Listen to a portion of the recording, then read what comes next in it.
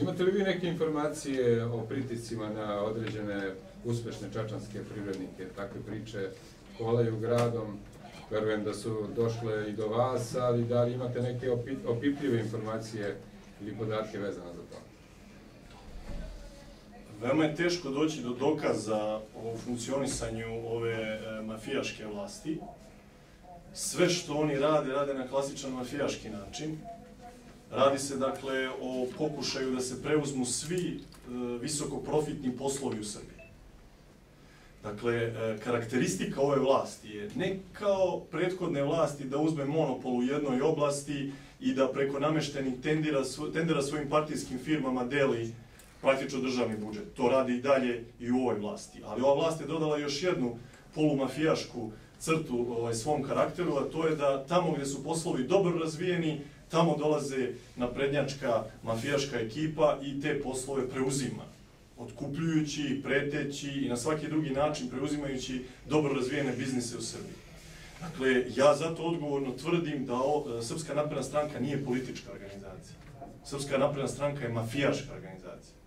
I ovo što vi vidite na čelu Srpske napredne stranke, nekakve funkcionere koji daju neke izjave, oni se apsolutno ništa ne pitaju u Srpskoj napredne stranci, oni su apsolutno nebitni za funkcionisanje Srpske napredne stranke. U dubini iza tih funkcionera koji se vide javno stoji zapravo gospodin Andrej Vučić i čitava paralelna struktura Srpske napredne stranke na čelu sa Vučićevim kumovima i prijateljima koji zapravo vladaju ovom državom. Oni su trenutno preuzeli sve ključne privredne grane u Srbiji. Oni asfaltiraju sve puteve, oni su preuzeli sve poslove u energetici, oni preuzimaju brojne poslove u ugostiteljstvu.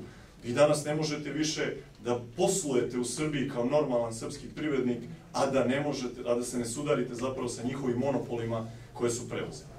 I to čujem u razgovorima sa svim domaćim privrednicima s kojima sam imao priliku da se susretem, da jednostavno nikada ovako nije bilo.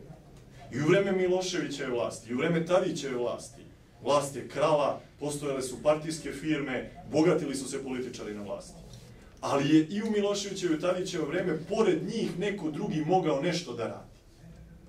Danas sve manje ljudi uopšte nešto mimo mafijaških biznisa Srpske napredne stranke uopšte može da radi u Srbiji, a da njima ili ne plaća reket ili da oni ne preuzimaju kompletno sve te poslove.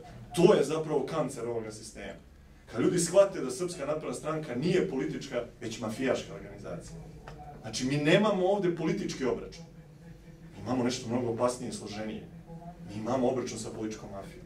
Verujte, to je najozbiljnije stvar koju treba da shvate građani Srbije, jer ako to ne shvatimo, imaćemo šefa BIE koji će privatizovati službu državne bezbednosti, koji će zapošljavati partijske vojnike, i praktično ćemo imati privatnu službu državne bezbednosti i funkciju jedne partije. Ne znam da li građani Srbije shvataju u kom pravcu to vodi. Mi se sećamo kako je to izgledalo u komunizmu. Ako želimo da se vratimo na to vreme, da državna bezbednost radi za partiju na vlasti, da zaista ja mislim da, da mi nestajemo kao narod i država, ovde se urušava svaki pravni demokratski poredak i to je kraj. Znači, svi se pretvaramo u roblje kod stranog gazde, u jeftinu radnu snagu, ostatak ljudi koji ima hrabrosti se odseljava iz države i radit će u inostranstvu, oni koji ostanu ovde radit će kao robovi kod stranog gazde i kao robovi u službi državne bezbednosti koja će raditi za jednog omiljenog partijskog vođu, čije slike sada treba po, počnemo da kačimo po školama i kasanama. Pa čekajte ljudi, valjda mi koji smo preživeli jedan totalitarni režim znamo kuda to vodi, šta je to? Prosto nećemo valjda više da se igramo demokratije, izbora i praznih priča kad vidimo u kom pravcu ide ova država i kako se vlada ovom državom. Jedina nada u tom smislu, pored ove naše borbe i poziva građanima da se tome suprostavimo, jeste što su ti mafijaški klanovi unutar Srpske napredne stranke počeli sada međusobni obračun. Pa i firme jednog kuma konkurišu u firmi drugog kuma na tenderima i sada je jedan totalni rat među njima ko će preuzeti to mafijaško tržište koje su oni uspostavili u Srbiji. Dakle, nadamo se da će, da će se makar ovaj, međusobno obračunati i da ćemo se možda i na taj način osloboditi te mafijaške hobotnice koje danas vlada s ovom državom.